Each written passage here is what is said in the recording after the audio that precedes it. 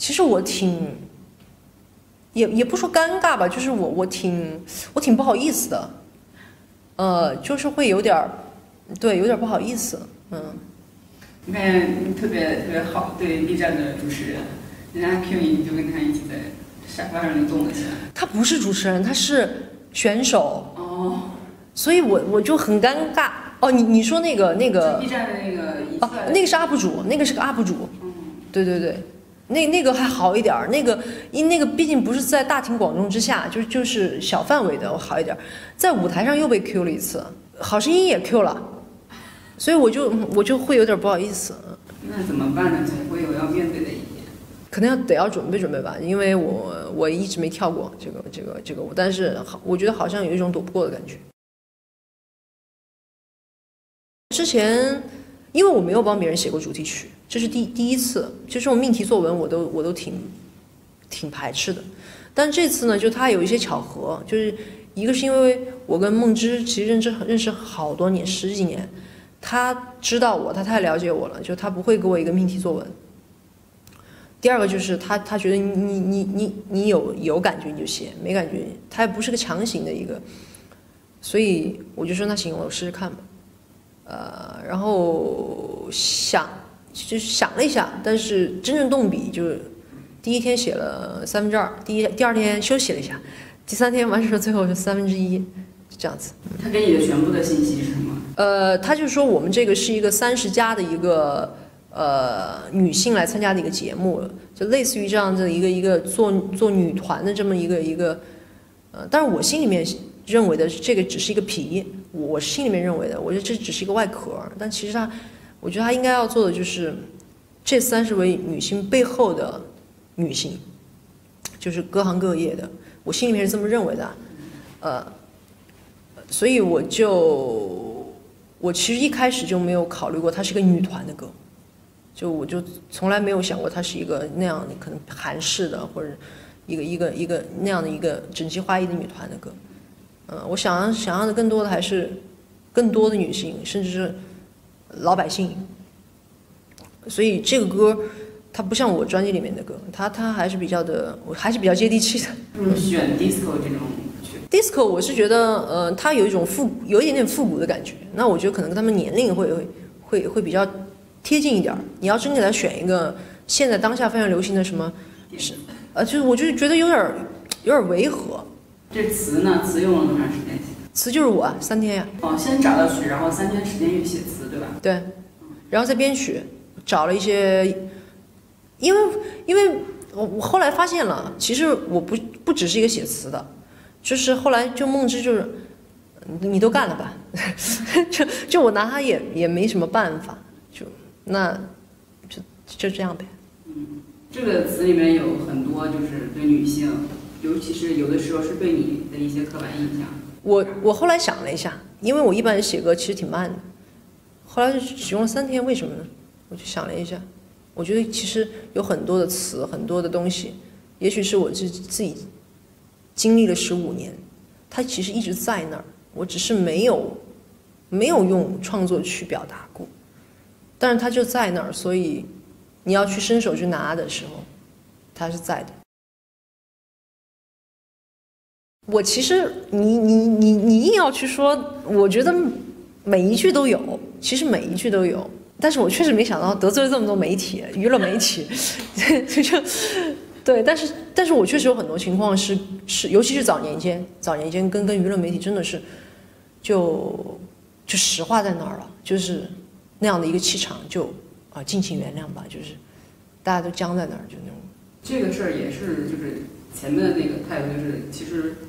如果一个记者他是没有做过这样的事情的话，他不会为此而感到生气。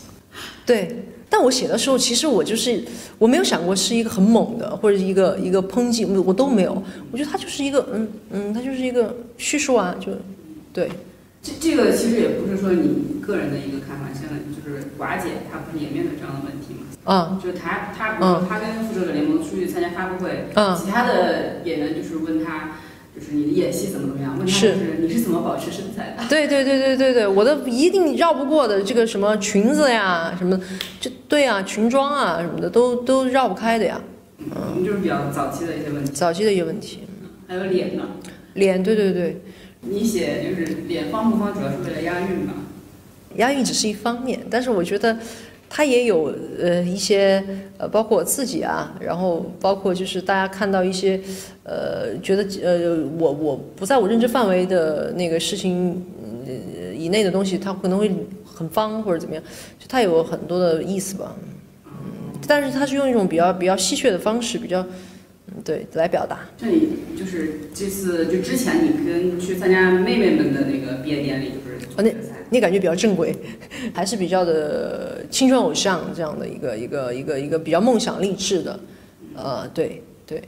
他他不是用这样一种戏谑的方式来来表达，这种方式其实我发现我就是在可能在流行之后，啊找到了自己一种一种一种表达方式，呃，可能在在某一些舞曲里面，其实我还没有去，我还没有去姐姐，我还。没有真实的感受，没有真实的感受过他们的那个氛围，我还是很想看一看。但我我最想看的是，我吴梦之会把它做成什么样，这是我我最好奇的。满意吗？他是做的让你？妹妹那个节目我可能就看了一点点，因为就是也许我我现在就过了那个那个看看这样的一个一个一个选秀节目的一个一个一个阶段，这样的综艺节目其实我看的也比较少。姐姐那也是因为我自己参与了这个这个这个主题曲的创作嘛，那我很想看一看，哎，呃，我的我写的东西跟跟这个节目是不是搭上了？因为我我之前并不知道他的节目做成什么样，他的节目都已经录了好几期才才来找找我写主题曲，所以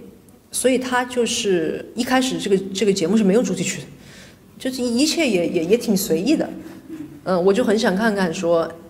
我想象当中的，如果要做的一个女性的一个节目，它是否是是我想象当中那个走向那个样子？他他不会真的把它做成一个团吧？就就不对，有很多猜测。吴君拿到你的那个歌的时候，他的第一反应是什么呀？第一反应，呃，把照要改一下。哪个赵？就是我里面有一句歌词叫“舆论不妙，单身年龄哪个赵”。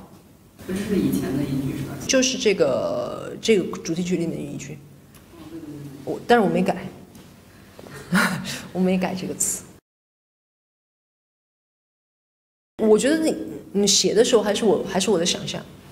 就是因为我没有看过节目，我不知道是什么样子，我也不知道姐姐姐在节目里面会是怎么样一个表现。但是我认为他们敢来这样一个节目，这样的一个女团节目，他们是应该。就是应该是会，而且活到活到这样的一个年龄阶段，我觉得应该是去直面自己的一种，呃，你说欲望也好，或者说梦想也好，或者我觉得应该是是比较诚实的，或者说我觉得这是这是我想我想看到的，我也不知道，嗯，但是我我我觉得，嗯，有它是两句对照的嘛，就是我第一句是多认真的亮相，其实这一句，可能大家。这样一一眼看上去，觉得是一个特别励志的词，多认真的亮相。但是我我认为这里面是有一一丝小心酸。也许你在呃，就是在别人的眼中可能有不同的一些样子，但是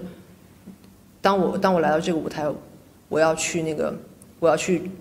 找到自己的梦想，或者我要乘风破浪的时候，我每一次我要我都是多认真的亮相。他其实。我觉得我我是有有一层背后的那种心意在里面的，但是可能在舞曲里它很难体现，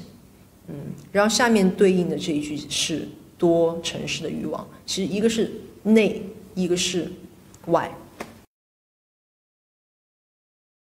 参与社会事务比较多，就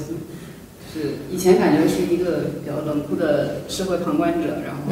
现在好像更愿意参与到一些就是社会事务上。表达多一点，然后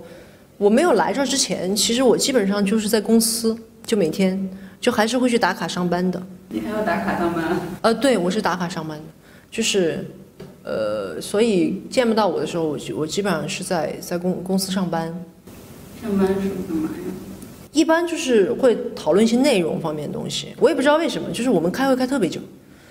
呃，就是都特别长，我们公司的会都特别长，但是比起以前已经好多了，就是以前的会更长，现在已经好多了。现在开到开到后面，我都我都不想开了。